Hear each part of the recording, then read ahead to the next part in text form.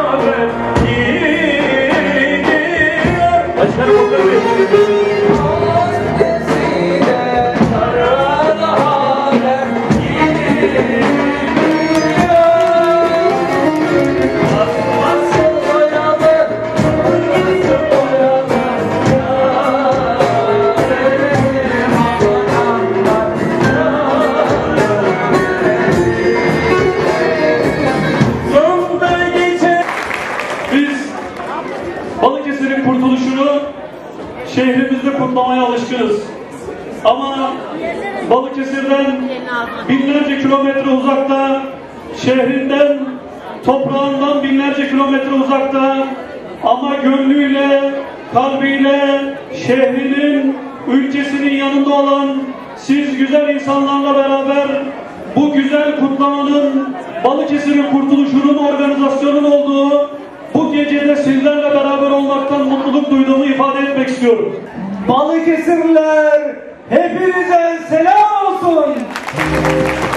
Sizlerin arkanızdayız. Yanınızdayız. Her faaliyetinizde yanınızdayız. Yaklaşık olarak arkadaşlarımızın verdiği rakama göre Almanya'da 48 bin tane Balıkesirli var.